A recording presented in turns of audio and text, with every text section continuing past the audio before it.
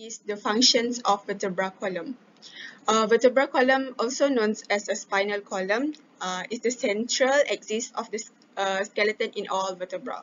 The, verte the first function of vertebral column is the vertebral columns provide attachment to the muscle. So it's form a freely movable joint. Uh, secondly, it support the trunk. And third, protect the spinal cord and nerve roots and serve as a site for hematosis. It also provides stiffenings for the body and attachment for the pectoral and pelvic girdle and many muscles.